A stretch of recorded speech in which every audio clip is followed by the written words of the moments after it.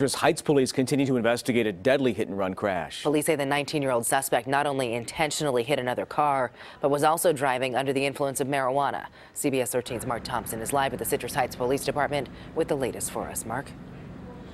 Yeah, guys, the 19-year-old suspect in this case is currently under a psych hold and was unable to make that initial court appearance this afternoon. Meanwhile, police here at Citrus Heights are starting to shed more light into exactly what led up to that deadly hit and run crash.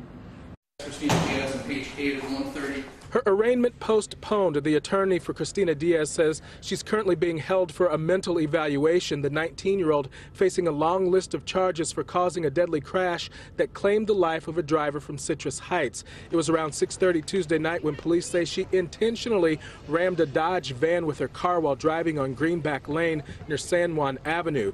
After striking the van, police say she lost control and swerved into oncoming traffic, hitting a Mercedes, killing the driver, 45 year old Andre Tegintsev of Citrus Heights. Heard this loud boom, sounded like somebody dropped a car out of the sky. Terrence Dyer is a barber at Cecil's Hair Salon across the street and witnessed people trying to help the injured in the aftermath. The first guy I saw, he actually looked inside of the car and backed up.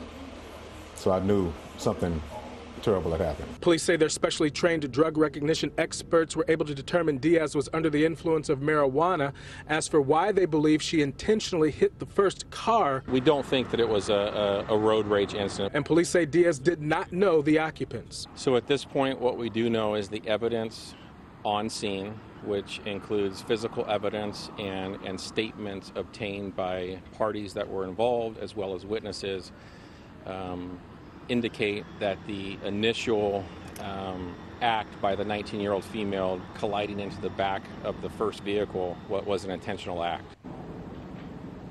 And again, Diaz faces a long list of charges, including DUI and uh, hit and run, also vehicular manslaughter. Her arraignment has been postponed. It's been uh, rescheduled for tomorrow at 1.30 in the afternoon. Guys, back to you. Mark Thompson live in Citrus Heights for us. Mark, thank you.